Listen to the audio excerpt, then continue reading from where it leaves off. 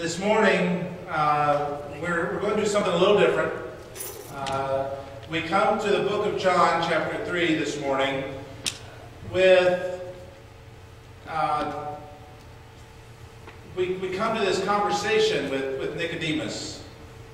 And so we're asking this morning who is Nicodemus, really? Uh, we want to get kind of a character sketch. He, he appears three times in this gospel. Uh, here in chapter 3, and then, and then in, in the later chapters, as we'll get to in a few moments. And so we want to take a moment and just uh, take this time and, and kind of get a brief character sketch of who Nicodemus is, who Nicodemus was, and, and what his plan is. And so, by way of introduction this morning, we're going, I want to share with you this scene here in chapter 3 that John describes for us, but I want to, I want to give you a description of this scene uh, by author and pastor Max Lucado.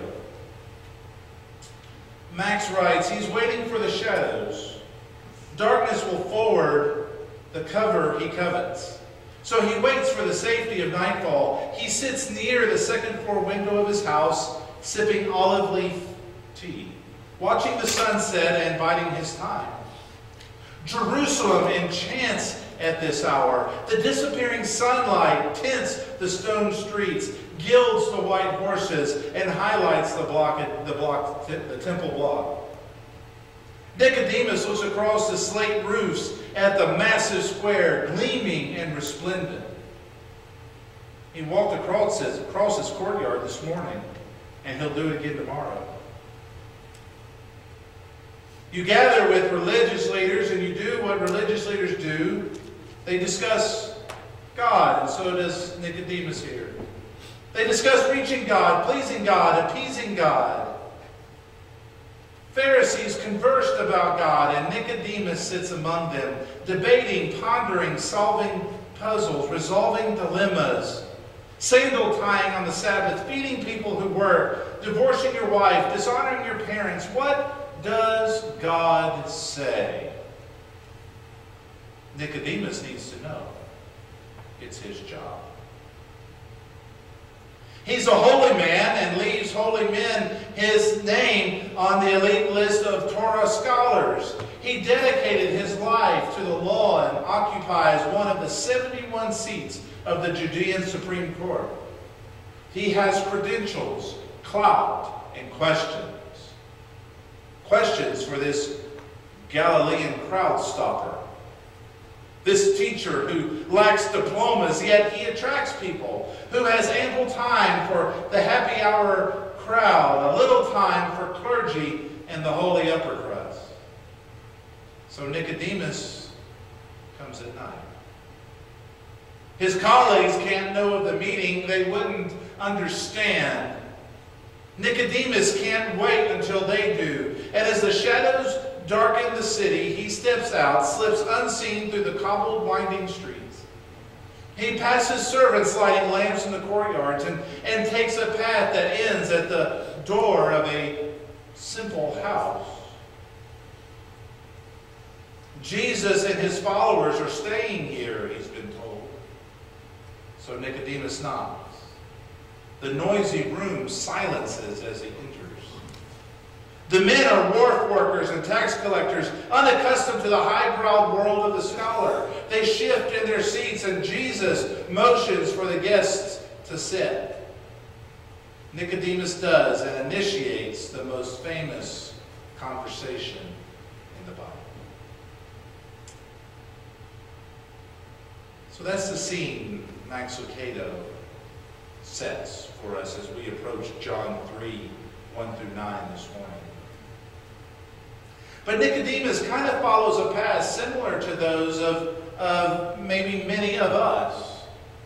We sought truth, right? We seek truth. We seek to know what this truth that the Bible says, you know, we seek to know if it's real. Maybe some of us are just seeking truth, period. And then maybe we move maybe a, a, baby step forward. Maybe, maybe just a tiny step forward and, and we become a defender. It may, it may not be an apologetic defense of faith necessarily, but it might, it might be say, well, wait a minute. Maybe I need to give this Jesus guy a chance. And then eventually that leads us to becoming a believer ourselves. And I think that's the path that Nicodemus follows. But before we jump in to our text in John chapter 3, will you join with me for a word of prayer?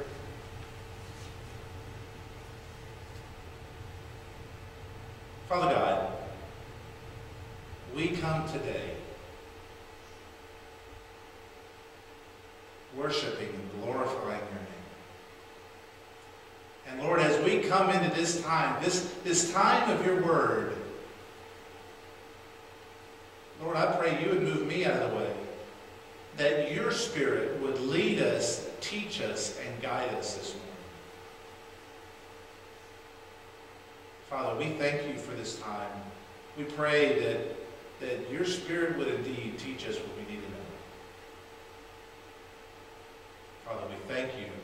We praise you in Jesus' name.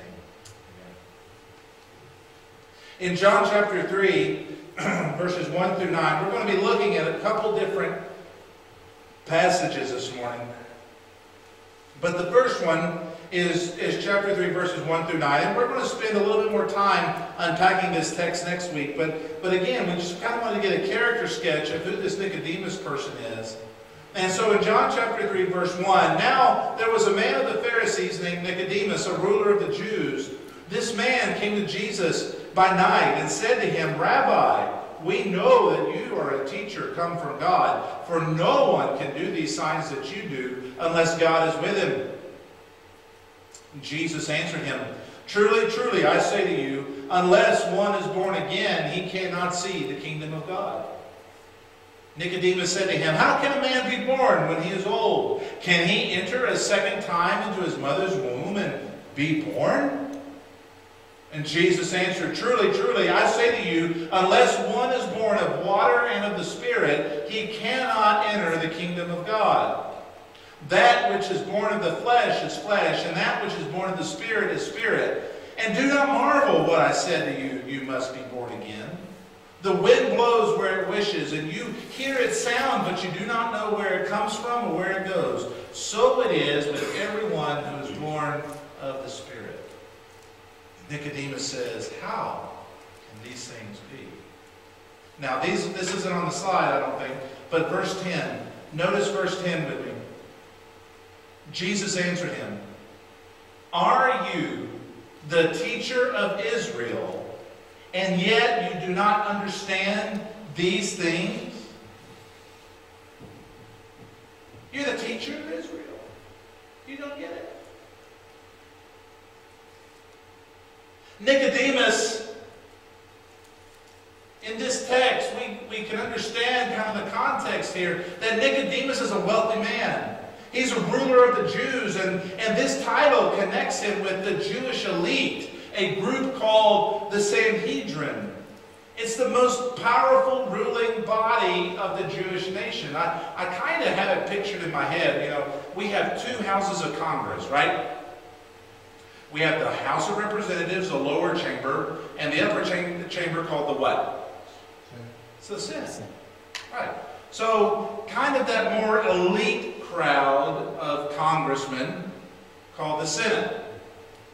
And so here it is here. We have the Pharisees, and out of the Pharisees come the ruling elite, the Sanhedrin, a smaller crowd, if you will, but they have more power.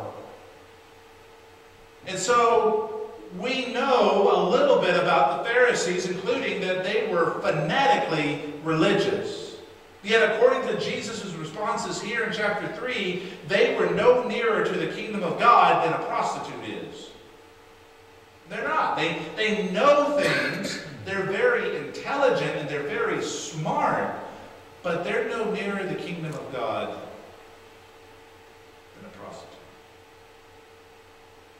See, their philosophy included adhering to more than 600 laws, many of which were simply the invention of the Pharisees. Now, what do I mean by that? Well, let me give you a couple examples. For example, they believed that it was all right to swallow vinegar on the Sabbath, but not to gargle it, because gargling constituted labor.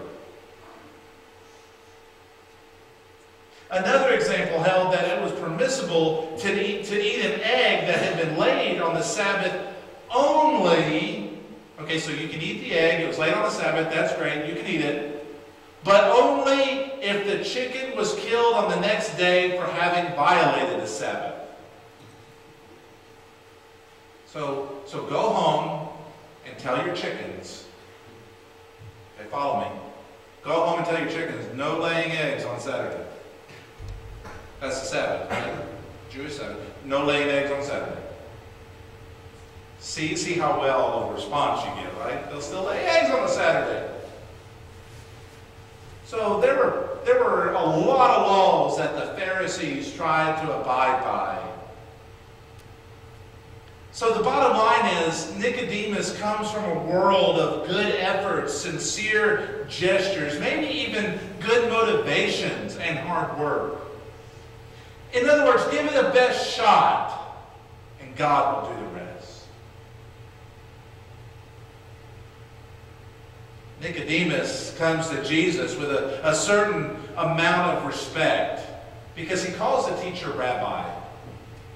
Now, rabbi, of course, means teacher. It's similar to us calling someone by their prefix, maybe, for instance, professor or doctor or reverend.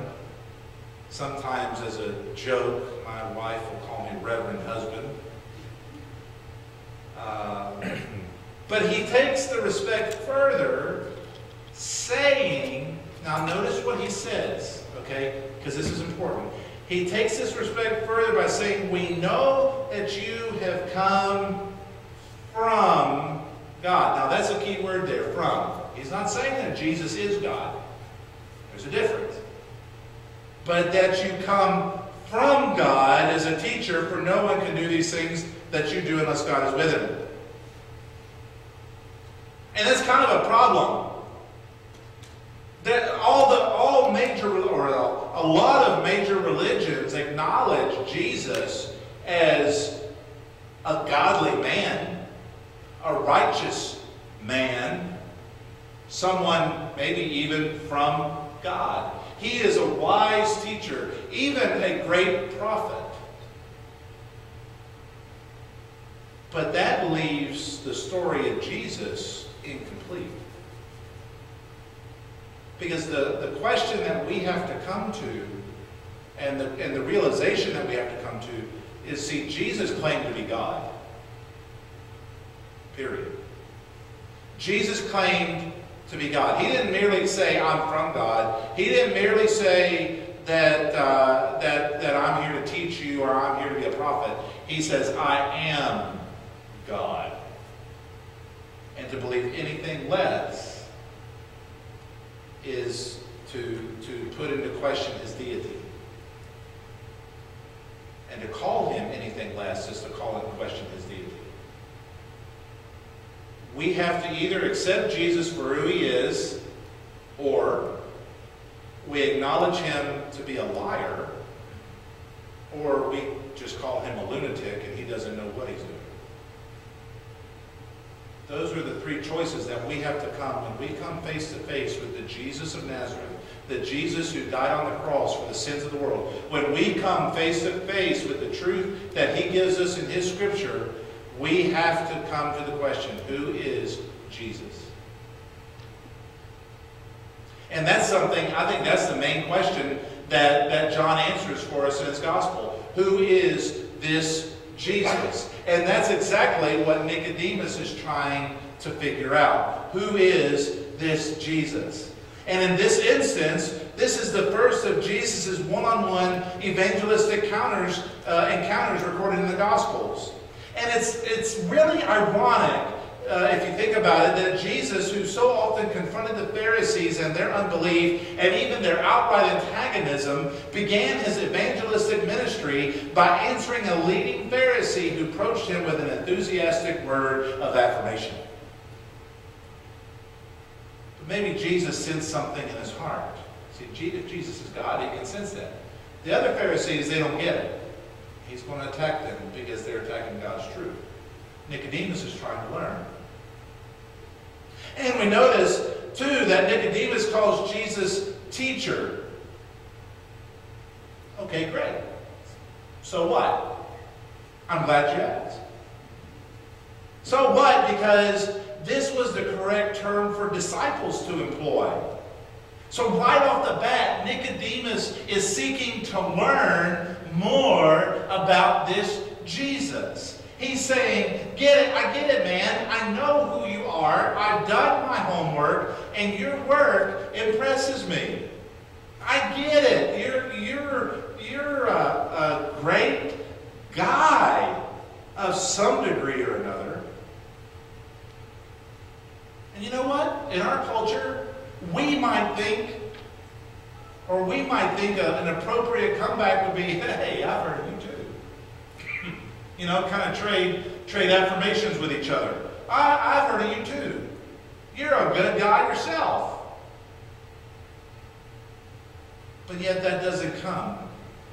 Jesus makes no mention of his elite status. He makes no mention of, of the good credentials of Nicodemus. He doesn't even he doesn't even give credit to his good intentions. Now, it's not to say that Nicodemus doesn't have these, but in the scheme of Jesus' mission here on earth, it simply doesn't matter. Those good intentions don't matter.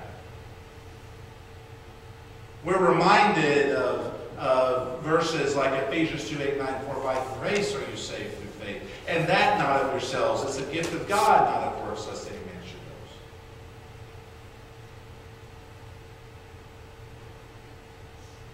Good intentions don't matter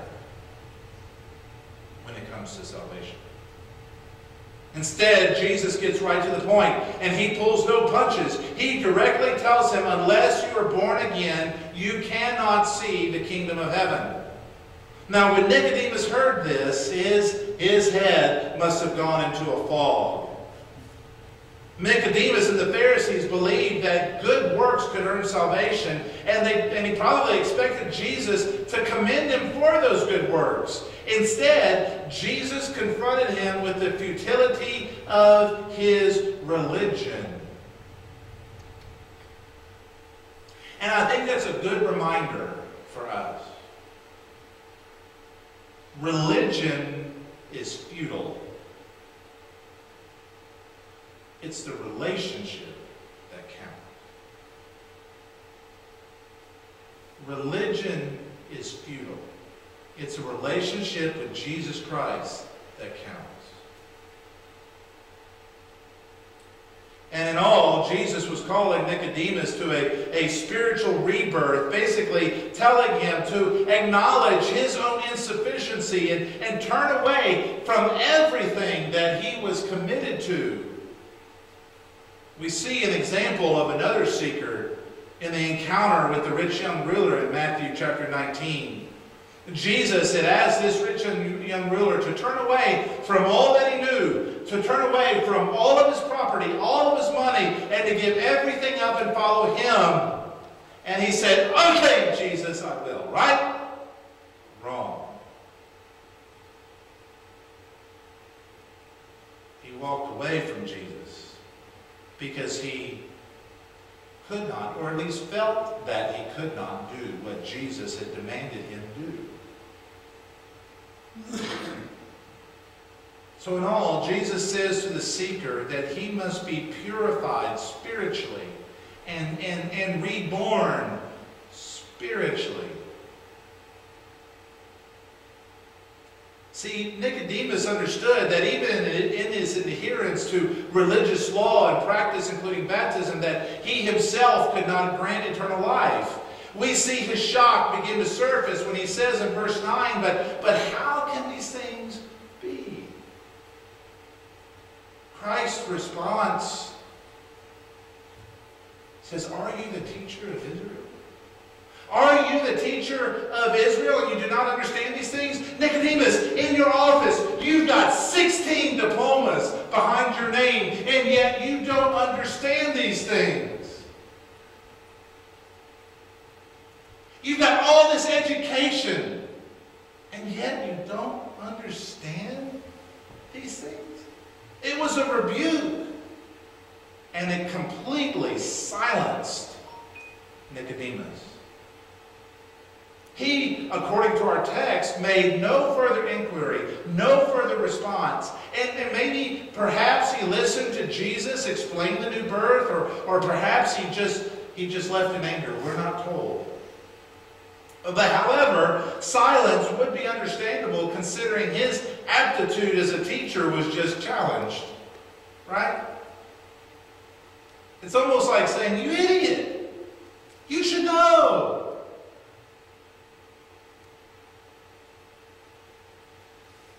But Jesus is telling Nicodemus is that the Bible, which on our end makes up the Old and New Testaments, is perfectly unified, and the way of salvation is the same in both Old and New Testaments. Salvation was never a reward for human works. It has always been a gift of grace for repentant sinners, made possible only by the grace of God. It was a gift to those who humbly and by faith sought redemption from their sin.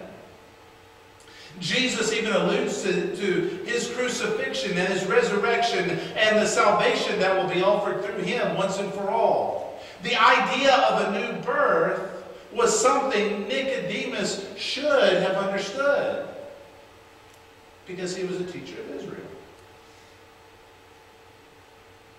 So then at the end of this episode, we have Nicodemus. He saw the signs, perhaps even saw the turning of water into wine at the wedding at Cana. He acknowledged that Jesus was from God, and, and even perhaps his mind accepted to some extent the truth of Christ. But at this point, he walks away from Jesus as an unbelieving seeker. How many, I wonder, of us, how many of us know people who are seeking truth? How many of us are, or how many of us know people who are seeking the truth? I mean, we all seek truth in some form or fashion.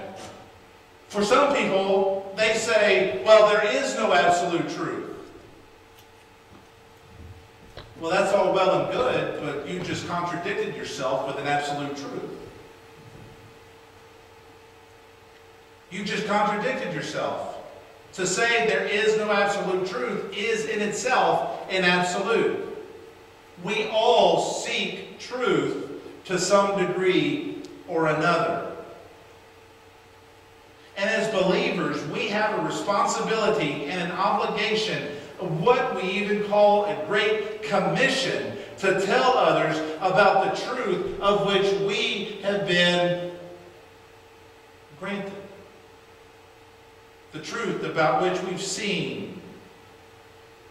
Now, while we may not be seeking the truth like, like an unbeliever, like, like someone like Nicodemus would be, we know people who are. And we must tell them about what Jesus has done in our lives. Because see, that's what that's what Jesus does here. Jesus says, now let me tell you what this rebirth is about and what it means to you.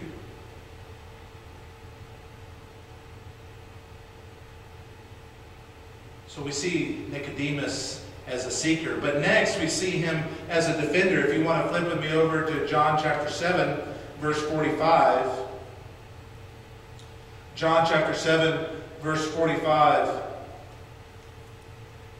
And we can even back up to, to verse 44. Some of them uh, wanted to arrest him, but no one laid hands on him. See, Jesus was, was causing a division among the people. Uh, and, and, and so there was a, a division among the people, and some of them wanted to arrest him, but no one laid hands on him. Verse 45, the officers then came to the chief priests and the Pharisees who said to them, Why did you not bring him? And the officers, the officers answered, Well, no one ever spoke like this man. The Pharisees answered them, Have you also been deceived? Have any, now notice this question, verse 40, 48. Have any of the authorities or the Pharisees believed in him? But this crowd that does not know the law is accursed. Verse 50. This is why the, the question is important. Nicodemus, who had gone to him before, and who was one of them, said to them, Does our law not judge a man without first giving him a hearing and learning what he does? And they replied, Are you from Galilee too? Search and see that no prophet arise from Galilee. Nicodemus stood up, defended this Jesus. So now follow me here for a few minutes. We're going to walk quickly through these chapters from chapter 3 to verse 7, or chapter 7. In chapter 4, Jesus left Judea, went into Galilee. In chapter 5, John records the feast of the Jews. So Jesus then goes back to Jerusalem. And in verse 18, the Jews were seeking to kill him, basically for charges of blasphemy. In chapter 6, the 5,000 are fed, and he calls himself the bread of life, which causes the Jews to take him literally. The Pharisees, which are, which are in John, in the book of John, the Jews, the Jews refer, refers to the Pharisees and the, the Jewish religious leadership, take him literally. We saw that in chapter 3. How can a man be reborn? Can he go back into his mother's womb and be born again? That's not what Jesus. Same thing with the bread of life. They take him literally. So we're going to eat this man's flesh. So they grumble about him, saying, How can this man give us his flesh to eat? Took him literally. And now in chapter 7, the Jews were seeking to capture and kill him at the feast. And there were rumors going around about him, according to verse 12, but no one spoke openly. Why? They were scared of the religious leadership. But then in verse 14, he gets up in the midst of the feast, maybe even on top of a picnic table, and begins to teach during the feast. And that astonishes the Jews. That astonishes the leadership. But we notice in verse 30 that they were seeking to kill him, but they could not lay their hands on him. Why? Because his time had not yet come. And then, chapter 7, again, verses 32 to 36, the Pharisees and the chief priests had sent officers out to seize him, and at the same time could not understand why he is saying that he will go somewhere where no one can find him. So we're, we're trying to get you, but we can't, and you're saying that you're going to go somewhere and we can find you. What are you talking about? And then more rumors in verses 40 and 42 uh, the degree in which the crowd division occurred, again, they tried to seize him, but no one could lay their hands on him. And so the dejected officers go back to the Pharisees without Christ. And when they question him why they did not bring him, notice their response. Notice the soldiers' response in verse 46. Never has a man spoken in this way. Pharisees' response says, You, you've been led astray. But yet, the Pharisees' further response in verse 48 proves interesting because they ask that, well, you, you don't see that any of the rulers or the Pharisees have believed in him, has he? And then they continue, but this crowd, which is not, uh, which does not know the law, is accursed the, the little people. See, all the leadership, they're saying, the leadership, well, we've arrived, essentially. We've arrived. None of us has believed him, but these, these little people, these, these, these, these people who, who, these normal people who believe in him, well, they don't know the law, and therefore they're accursed.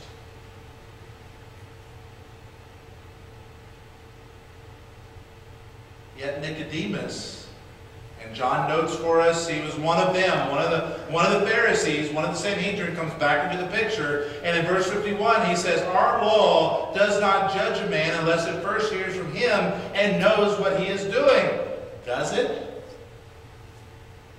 In other words, in, in, in our justice system vernacular, if you will, he's innocent until proven guilty. Nicodemus calls out his fellow Pharisees on a basic matter of legal procedure which had been accepted by Moses and all of the Jewish interpreters. And so here is Nicodemus who approached Christ at night, and now here he is defending Christ. Now, now he's defending Christ on a very basic and simple legal matter, but he is still defending him. In John 3, we saw Nicodemus coming to Christ, showing respect as a teacher who could only be from God. And through the previous three chapters, we saw the Jews questioning over and over who this man was and their desire to kill him. And perhaps Nicodemus heard of the healing in Bethesda. Perhaps he was in the group of the Jews in chapter 5 when Jesus placed himself as equal with God. Perhaps Nicodemus heard about the 5,000 that were fed. And, and maybe, maybe even how he walked on water. And maybe even more likely, Nicodemus was there when Jesus boldly stepped into the temple and began to teach during the feast, during the time the Pharisees wanted to kill him. So Nicodemus has some history here. And, and he comes away from chapter 3 with a thought process of, okay, I've, I've really got to figure out who this Jesus is. This, this isn't an ordinary man. Who is this Jesus? And, and again, John writes in his book, uh, he gives a great uh, answer to that question as we go through the book of John. He unpacks that question Who is this Jesus? That's one of the reasons why he wrote his book. In fact, he tells us just that towards the end of his book. These things are written so that you will believe that Jesus is the Messiah, the Son of the living God. So that's his desire is to show us who this Jesus is, that Jesus is the Savior of the world.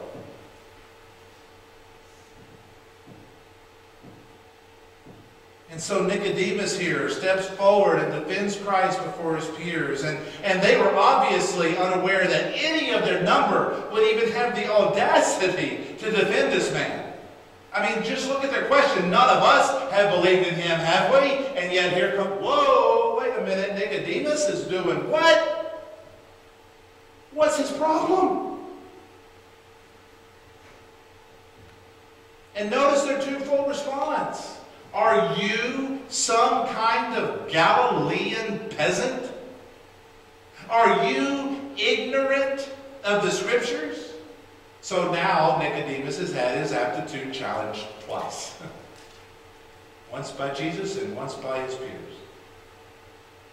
But even though Nicodemus didn't come to the defense of Christ, maybe as a Perry Mason, which I think is before many people, before most of our crowd here, before their time, uh, or Matlock, maybe before they would have, but he still, he still did defend the Messiah.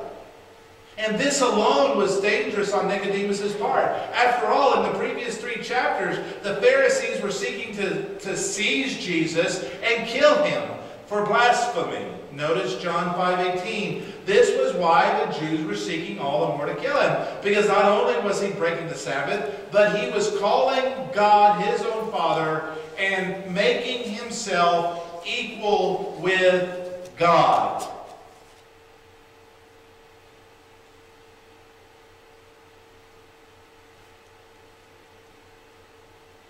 So how could one of the Pharisees, one of our own, they said, how could one of our own step forward and even think about defending this guy? This guy who calls himself God. And Nicodemus says, doesn't, doesn't he deserve a fair trial? He deserves to be heard.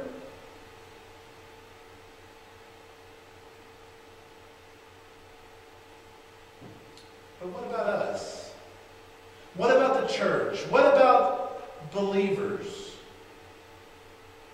We defend Christ at all?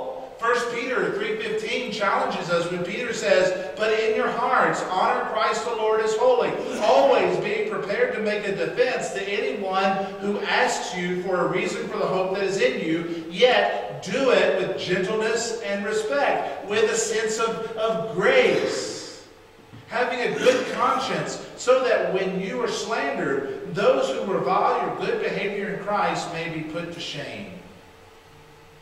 So then, are we ready? Are you ready to stand up for our Lord? Are we willing to put our lives on the line in defense of our faith? And I firmly believe that is where our nation is heading. It could very well, within the next generation, cost you your life if you acknowledge publicly that Jesus is your Savior. I think, I believe, we are heading that way. So do we publicly defend Christ? Are we willing to step forward and say, hey, wait a minute. This is my Jesus.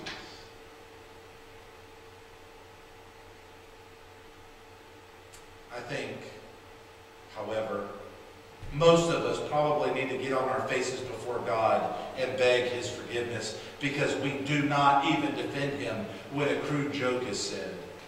We do not defend Him when our neighbor asks us, hey, where do you go on Sunday?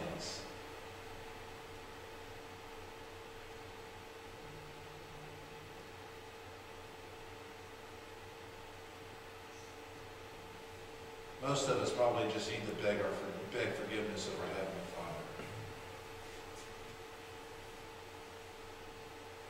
So, we saw in chapter 3 Nicodemus being a seeker.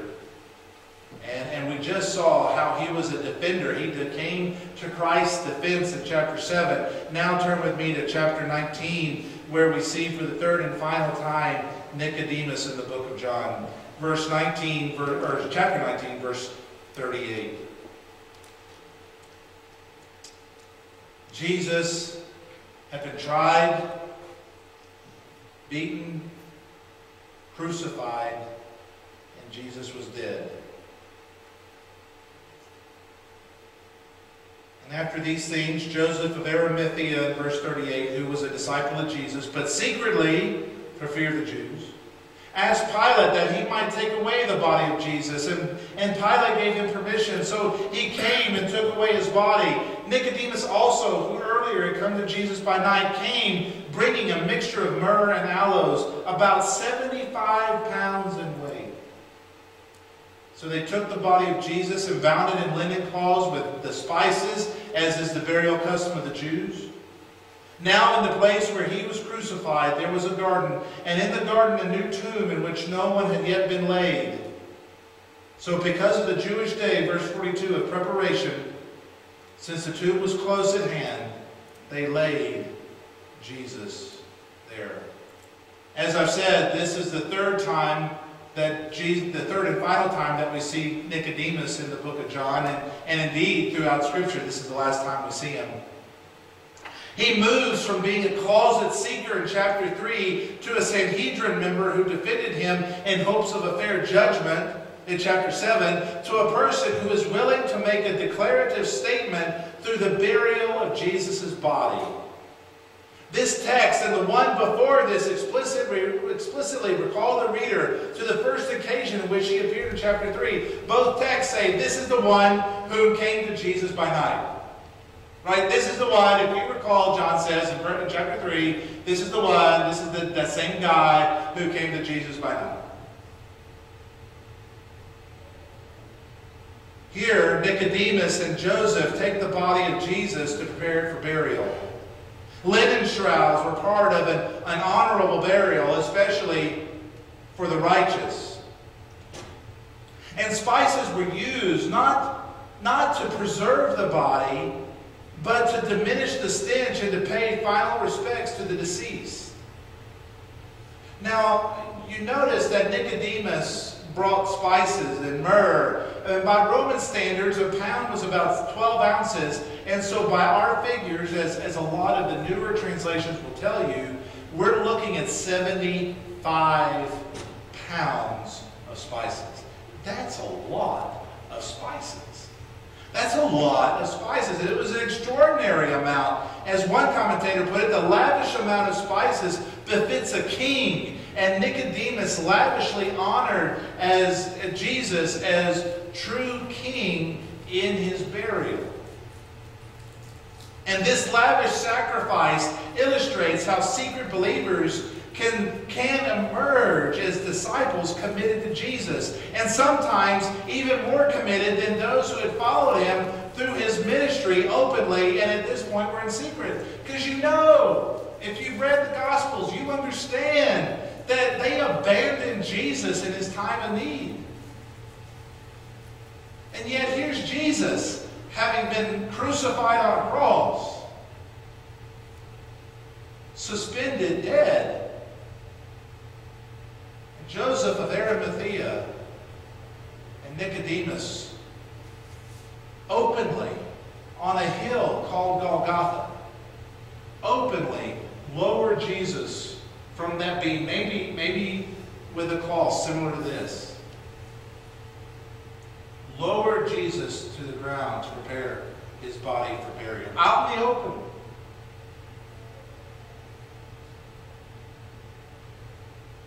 And yet, all of those who had followed Jesus openly and publicly were hiding. Now, now the book of John, now to be fair, John the Apostle, if, if we note a uh, chapter before this, John was with Mary, and Jesus had said, essentially, take my mother as your own. And so John was probably taking Mary back to the house, getting the tables ready for the fried chicken and the green beans. That was fun.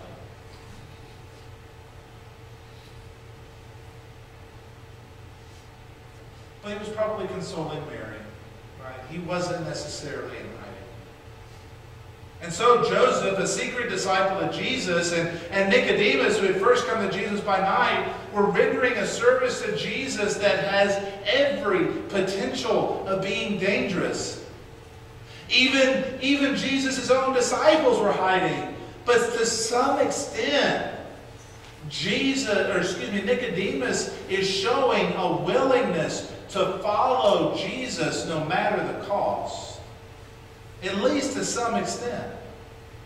And our text does not explicitly say that Nicodemus was a believer, but uh, yet we do see a progression. In chapter 3, he became, or he came to Jesus by night in secret. In chapter 7, he defended Christ, however subtly, to his peers in a room full of, of hostile unbelievers. Nicodemus has stepped forward and defended Christ. And now, here in chapter 19, he openly risks his reputation further and his security to properly honor Christ. It would seem to me that Nicodemus was stepping out of the darkness and into light.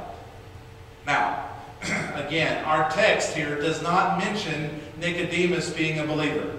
However, church history does mention Nicodemus again.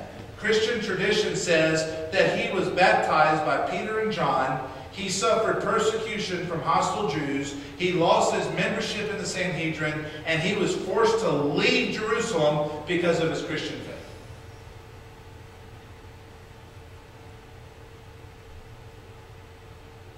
So, according to tradition, Nicodemus counted the cost. He understood what it meant to follow Christ. He became a believer and he was persecuted.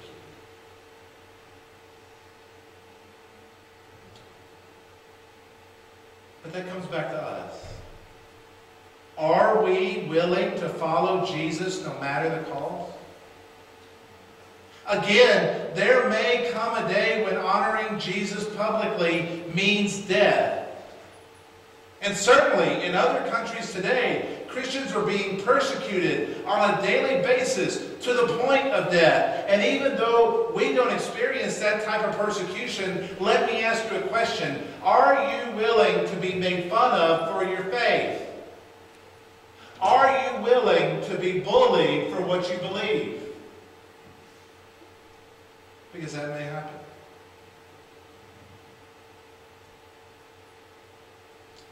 So as we ponder these things, I also, as we close, I want to ask the question, where do we go from here? Bart Ehrman is the, the religion professor at, uh, at UNC Chapel Hill. He, he's a very, very well-known author. Um, he teaches New Testament there at UNC. And he calls himself a happy agnostic. Whatever that means. He used to be an evangelistic uh, believer, used to, used to tell people about the gospel, was, was joyful about his faith, and has since become what he calls a happy agnostic. Well, at Chapel Hill, he begins his, his semester in New Testament with a class of 300 students. And he asks three basic questions. Now, I copied this off of his blog, okay? So, Dr. Ehrman, if you're watching, I apologize. But I wanted to make it. First question, he says, how many of you in here would agree with the proposition that the Bible is the inspired Word of God? And he says, boom, every hand in the place goes up. 300 students, hands go up everywhere. The Bible is inspired God. Yes, thank God. He says, okay, great. Now, how many of you have read the Harry Potter series? Boom, every hand goes up. Hands everywhere. He says, great. He says, and now, how many of you have read the entire Bible? And he says, very few hands go up. Very few hands up. He says, then I'd laugh for a minute and say, okay, so I'm not telling you that I think the Bible is the inspired Word of God, but you're telling me that you think it is. And he says, I can see why you would want to read a book by J.K. Rowling. It's action-packed. It's got a lot of good stuff in it, a lot of themes, uh, a lot of a lot of characters and, and character build-up and everything else. I can see why you might want to read a book by J.K. Rowling. He says, but if God wrote a book, wouldn't you want to see what he had to say?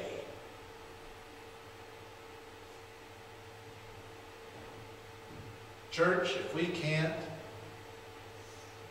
read the Bible, what we consider God's inspired word, if we're not reading to willing to read the totality of it and to study it,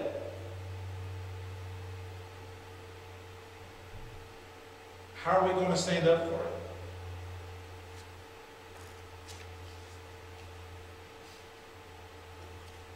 But further, do we step out in an effort to defend our faith to our next door neighbors? I mean, in this day and age, I think maybe the better question is to ask, do we even know our next door neighbors? Much less share with them. When someone makes a crude joke about our Lord, do we come to his defense? Or do we just kind of laugh along and write it out? Are we consistently abiding in Christ through prayer time and study of the Word of God so that we are then prepared to give a reason for the hope that is within us? But see, the fact of the matter is, most of us don't say a word. Most of us don't even say a word about Jesus. When the Lord gives us the opportunity to share the life saving, death dissolving power of the gospel, most of us do not even approach the subject with our neighbors. Instead, we change the subject to talking about our spouses or talking about the last ball game. We do nothing to tell them about Jesus. And folks, we tell people, we tell each other that, hey, wait a minute, this is the greatest thing that's ever happened to me. And yet we don't say anything. When, G- when Jesus gives us a point blank opportunity to share the gospel, we don't say a word.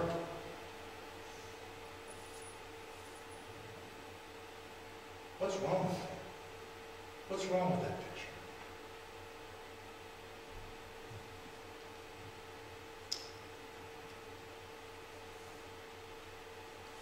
So I think the ultimate question today is what makes us so ashamed of the gospel?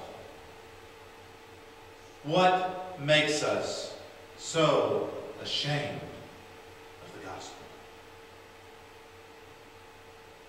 We would rather talk about each other and spread rumors about each other.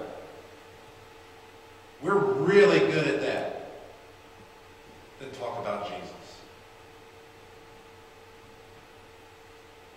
There is something detrimentally wrong with that picture.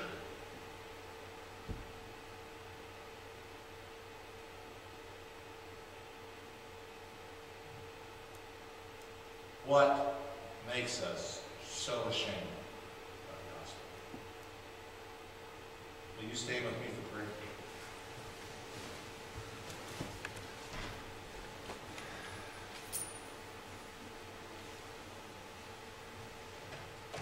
Father, we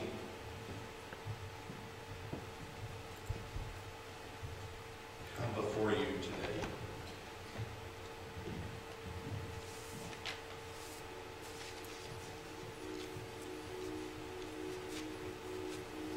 Knowing that we, we have a long way to go in our spiritual walk. And for those of us who have accepted Jesus Christ as our Lord and Savior, take seriously your call to make more of you, to make more of you in our lives, to make more of you in our conversations with people,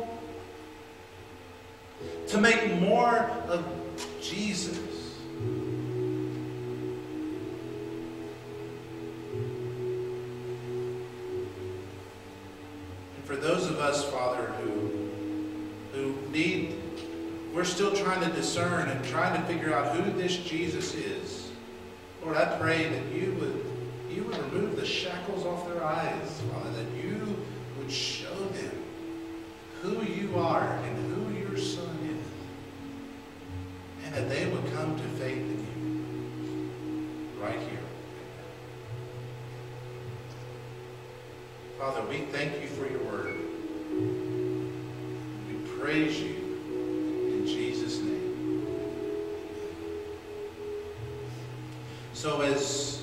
start this invitation time, Anthony and Lou and I will stand down front. If you want to pray with someone. Have you come to grips of knowing who Jesus is? Do you know who Jesus is? This Jesus who claims to be God, have you accepted him as your Lord and Savior?